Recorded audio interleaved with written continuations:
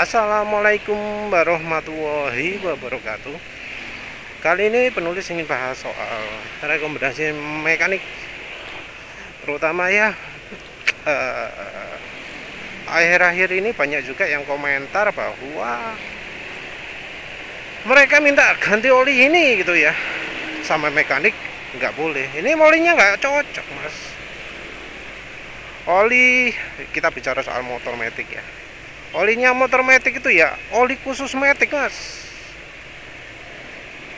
Nggak bisa pakai oli ini. Oli apa ini? Mesran apa ini? Oli apa ini mas? Ini oli mobil ini. Atau kalau mesrannya mesran P40 ini oli diesel ini mas. Nggak cocok dipakai untuk motor sampean. Dan uniknya ya uh, yang dikomentari kayak gitu biasanya reaksinya adalah ganti oli dewi. Jadi mungkin karena sungkan dengan mekaniknya atau ya merasa mekaniknya apa uh, posisinya lebih tinggi. Jadi ketika ganti nggak ganti depan orangnya ya nggak masalah sih. Karena ya daripada muncul konflik ya. Soalnya kalau muncul konflik bisa biasanya sih muncul. Ini sudah saya ingatkan loh mas kalau ada apa-apa ini ya. Padahal ya bisa jadi enggak. Oke lah apa uh, mekanik itu ngasih rekomendasi tapi nah si mekaniknya itu sumber informasinya dari mana dulu lah.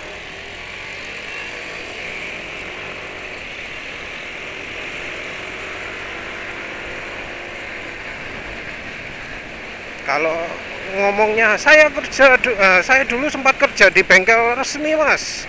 Saya pernah kerja di Ahas atau saya pernah kerja di Yamaha service centernya maaf ya maaf. Sekalipun benar bagi itu uh, penulis level respect sama mekanik bengkel resmi itu udah termasuk rendah. Walau memang kalau buka baut eh kalau masang baut nggak terlalu kencang sudah ngerti ada apa kira-kiranya bagaimana. Walau mungkin kalau soal apa masalah getar di setang gara-gara laker oblak sudah paham. Suara gemerincing gara-gara bagian ini rusak mungkin sudah paham. Tapi kalau soal lain-lain ya maaf ya. Motor penulis ini padahal jelas tulisan sama mekanik bengkel resmi disebut normal getaran disebut normal padahal ya sekarang getarannya nggak separah dulu ya. Jadi aslinya memang mekanik bengkel resmi itu ngerti. Di beberapa hal itu dia ngasih bisa ngasih solusi yang tepat. Tapi nggak semua ilmu yang dia punya itu benar. Apalagi pas muncul PCX 160 ah wis makin turun respect kepada mekanik bengkel resmi ya. Ada berapa aja yang sharing. Ini sudah dibawa ke bengkel resmi tapi masih tetap aja rembes masih tetap aja getar. Ya gitulah ya. Ada keterbatasan ya seharusnya kita juga harus waspada lah ketika tahu oli sampai kurang banyak tapi sama mekaniknya tetap disarankan pakai ini aja terus pakai ini aja terus olinya ya. Nah itu sesuatu yang apa ya ya harusnya nggak dituruti lagi apalagi olinya sudah hitam ya hitam banget gitu ya. Wencer hitam banget terus ganti olinya berapa mas? Ini padahal dia eh, makainya itu baru 1000 km warna sudah hitam pekat. Terus mekanik bangkelnya ngomong apa? 2000 km mas. Itu yang bagus mas. Sudah sudah di desain pabrik mas. Pabrik itu pinter mas. Sekolah mahal mas. Gak kayak saya atau apa gitulah. Kadang-kadang ngomongnya ngono insinyur pabrik itu pinter-pinter mas. Mereka sudah mikiri pasti. Cocoknya ganti oli itu 2000 km tiap 2000 km sekali. Kalau buku manual nulis 4000 mas. Tapi ini orang lapangan kita ini tahunya 2000 yang paling cocok. Padahal itu dalam kondisi oli yang ketika 1000 km sudah sangat hitam dan encer. Dan berkurang ya. Banyak.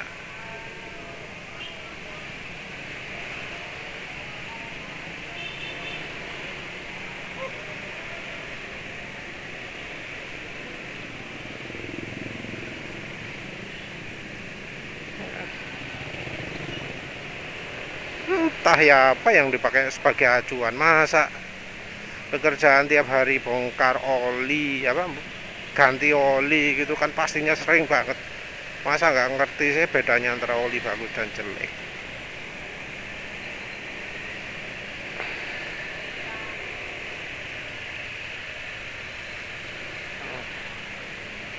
Ya juga biasanya informasinya sepihak.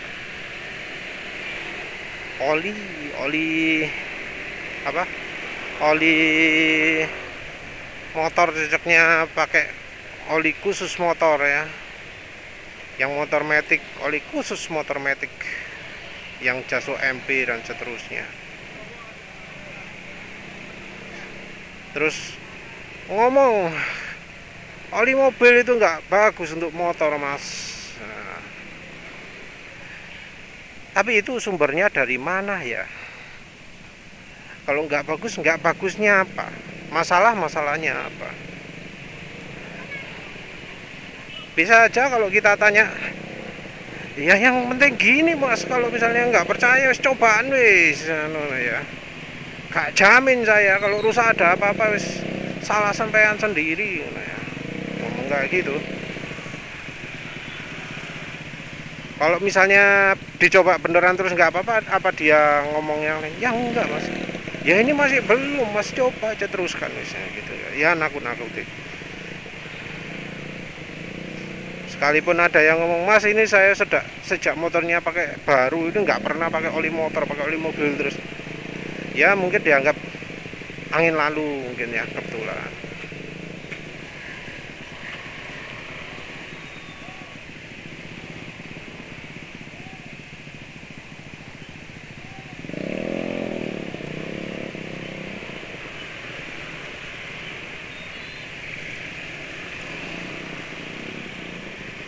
ya penulis sendiri bukannya nggak pernah ya membantah kayak gitu. Contohnya ketika membantah pemakaian oli itu ya oli apa namanya?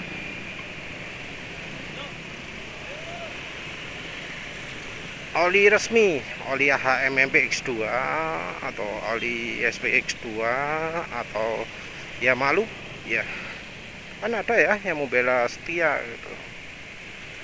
Saya mas pakai oli. Eh, pakai oli yang malu.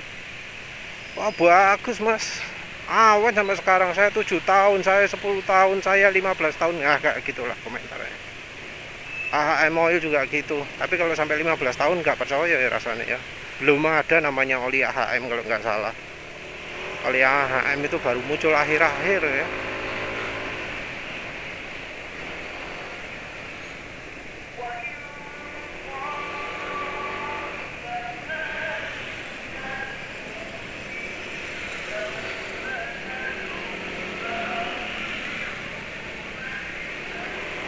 nah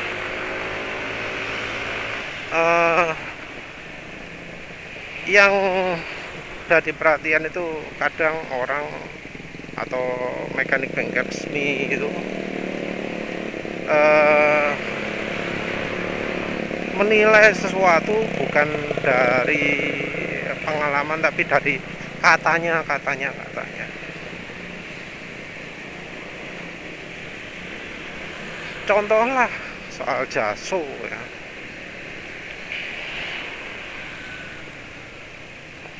Jaso itu muncul katanya sertifikat biar cocok biar macam-macam biar apa pas gitu ya. Jaso itu jadi acuan yang bener kalau motor metik itu pakai jaso MP oli non metik pakai jaso MA tapi banyak orang yang nggak tahu latar belakang latar belakang ini yang harus kita sebarkan kayaknya ya. Kasih tahu ke orang mekanik-mekanik itu.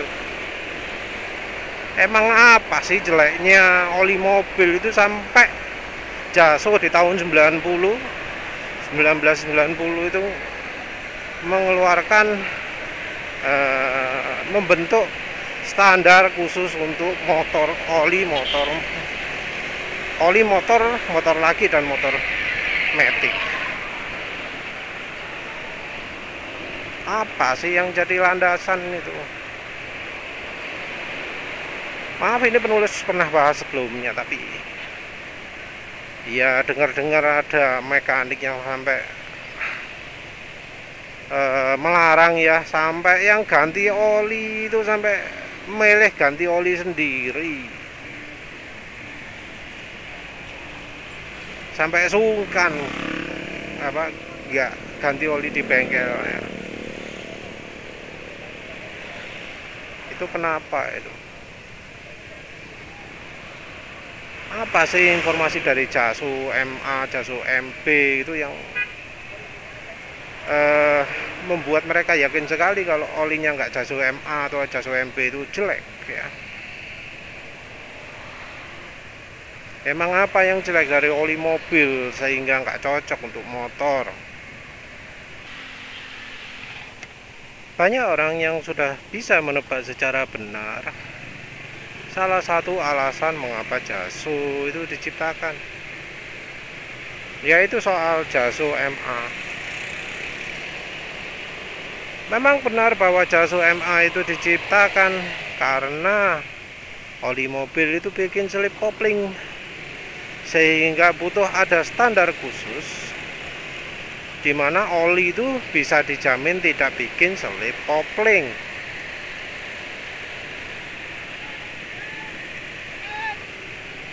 Dan level selip kopling itu kan beda-beda. Makanya angkanya beda-beda. Di standar baru itu MA itu dibagi jadi dua. MA1 dan MA2 mungkin karena banyak oli ya yang setengah-setengah ya. Jadi kalau dipakai di motor ini gak licin tapi dipakai motor yang satunya licin.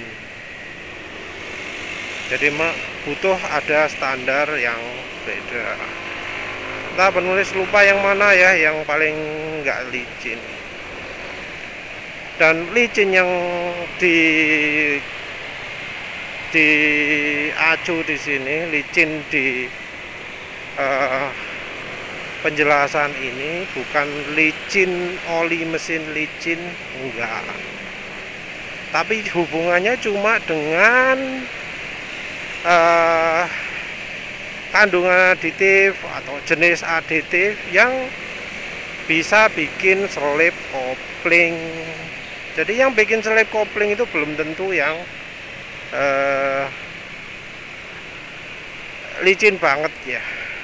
Tapi memang beberapa aditif pelicin itu bikin slip kopling. Terutama sih MOS2 atau aditif molybdenum yang lain. Jadi selip di sini ya biasanya karena padatan aditif EP ya extreme pressure. Apa kalau aditif EP nya banyak itu mesin licin banget. E, mesti ya. Karena itu semua tergantung pemakaian. Kalau pas lagi kalem-kalem ini termasuk kencang ini. Kalau jalan kurang dari 60 jalan nyantai-nyantai di jalan yang apa macet-macetan gitu. Nggak akan sempat kerja di tipe licinnya yang MOS 2 yang kerja itu ZDDP dan ZDDP jarang jadi eh, jarang disalahkan sebagai penyebab licin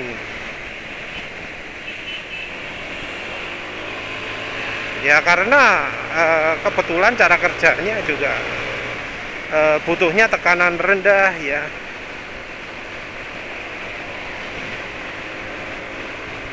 Sementara itu kalau yang untuk kampas kopling itu adalah aditif yang kerjanya berdasarkan gesekan dan tekanan yang kuat. Nah kalau yang begini ini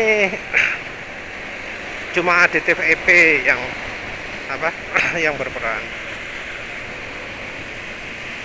Bukan berarti kalau motor apa yang ah, sorry oli untuk motor laki itu enggak ada. Aditif molinya ada sih ada. Tapi kadarnya nggak sebanyak yang di motor skuter misalnya yang di mobil pun sebenarnya nggak banyak karena teknologinya sudah beda ya sering terjelaskan. Sisi lain dari standar jaso yang orang nggak bisa ya, mungkin nggak tahu ya. Pasti nggak apa kepikiran. Itu justru adalah karena untuk motor oli mobil itu dianggap terlalu encer.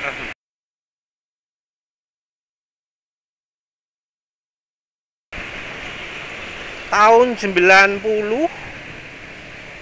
oli mobil itu dianggap terlalu encer untuk motor. Bayangkan ya tahun 90 tahun 90 itu oli encernya mobil oli apa sih rasanya masih belum ada 0W20 masih 10W30 5W30 gitu kayak tahun 90-an ya dianggap oli mobil itu terlalu encer.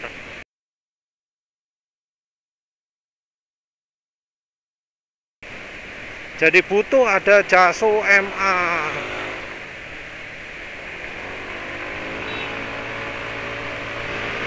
nah ini loh yang apa yang harusnya mekanik-mekanik itu tahu. Kenapa yuk sampai ada pernyataan bahwa oli mobil itu terlalu encer. Yang bagaimana sih yang terlalu encer itu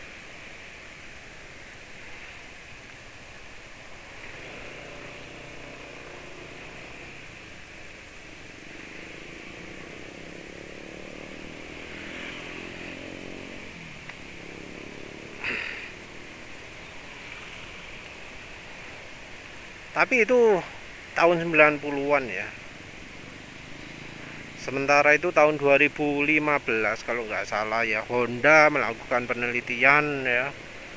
Penelitian di Jepang sana pastinya nggak mungkin di Surabaya guys. coba kasih oli motor ya. Kasih yang 10W30 sama yang 10W40 dan Honda secara dalam tanda kutip mengejutkan mencumbai bahwa kalau pakai 10W30 motornya bisa lebih kencang. Dan akhirnya lah diciptakan kebijakan yang internasional. Seluruh motor Honda wajib pakai oli 10W30 di mana pun itu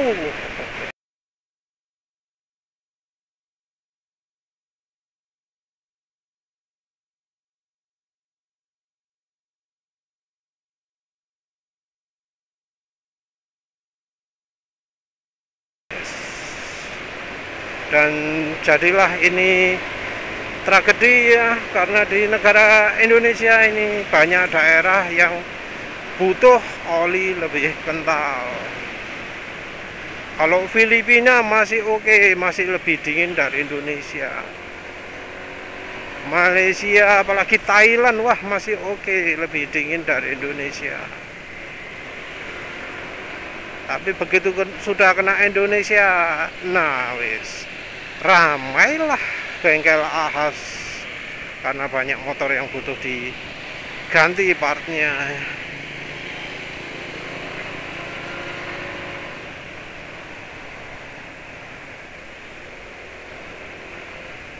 Kalau lihat komentar-komentar ya ada loh ya.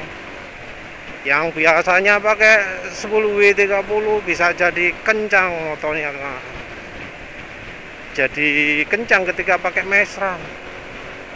Nulis kalau ada ya banyak ya testimoni tapi entah bisa nemu lagi atau enggak.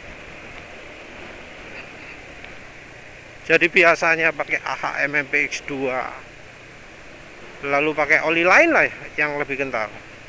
Jadi lebih kencang motornya. Lebih halus lebih kencang.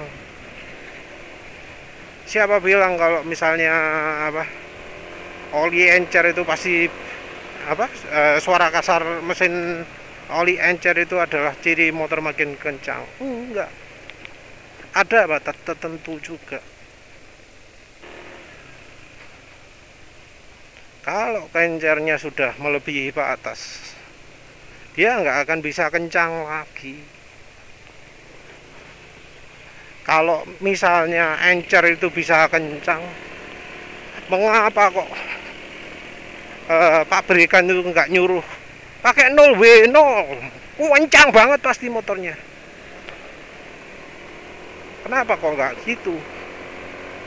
Tapi masih oh ini 0 W 20 oh ini 5 W 30 gitu kenapa kok nggak disamarakan sama ratakan aja?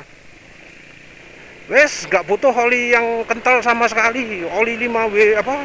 Eh, oli yang belakangnya 50 tuh dihapuskan semua semuanya yang pakai super encer yang seencer air gitu ya. Tapi ya nyatanya enggak.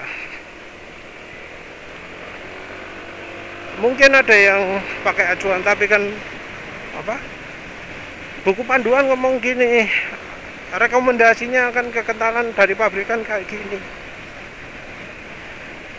Uh, gini dah kira-kira? Kalau semua dituruti motor beres atau enggak? Bebas penyakit atau enggak? Kalau sudah dituruti tapi motor masih penyakitan ya kita harus curiga lah dengan rekomendasinya pabrikan atau bengkel atau macam-macam. Kalau rekomendasi itu benar motor kita nggak akan pernah ada masalah seumur hidup kecuali kalau misalnya yang dari komponen e, mudah aus. Tapi sekarang yang terjadi apa? Bearing mesin bearing bearing dalaman mesin bearing di transmisi sampai oblak. Itu diomongi wah normal masa umur segini motor itu normal rusak itu. Wajar padahal itu terjadi karena kita nuruti rekomendasi bengkel kita nuruti rekomendasi pabrik. Jadi wajar rusak itu karena gara-gara kita nuruti wajar rusak itu karena memang rekomendasinya dia bikin kendaraan kita nggak awet. Tapi dia paling tetap aja ngotot kalau dituruti pasti makin awet motornya pasti makin enak motornya. Masalahnya kalau kita apa dia bohong sekalipun ya misalnya ada konsumen apa yang sudah nurutin dia sampai servis tiap bulan gitu ya habis keluar 200 ribu tiap bulan untuk servis. Ternyata masih eh, apa masih bermasalah juga. Apa dia anu apa dia mau mengakui bahwa dia itu salah dari mekaniknya itu? Maaf ya dari pengalaman yang selama ini ada. Enggak enggak akan dia enggak akan mengakui. Sayangnya budaya kejujuran sudah hilang ya dari bengkel resmi. Karena ya ada unsur kepentingan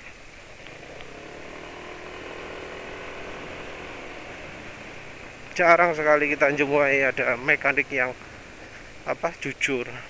Sekalipun jujur ya ada juga yang kemungkinan nggak berani ngomong karena itu kebijakan dari dealer.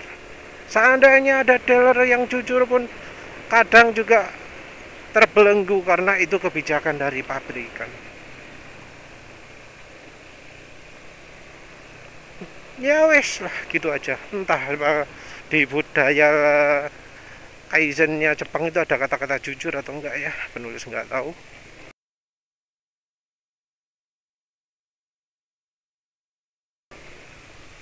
Sudah begitu saja ya. Jadi intinya jangan takut lah nyoba apa kayak oli mobil terutama meseran ya. Meseran itu oli bagus. Walau bukan yang terbaik tapi sudah paling bagus eh, sudah termasuk paling bagus. Nyoba bimoli juga ya silakan aja coba ya. Nulis jarang sekali dengar pengalaman jelek.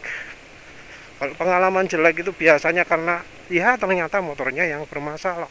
Setelah misalnya beberapa bulan kemudian oh iya mas karena masalah ini jadi ada gini.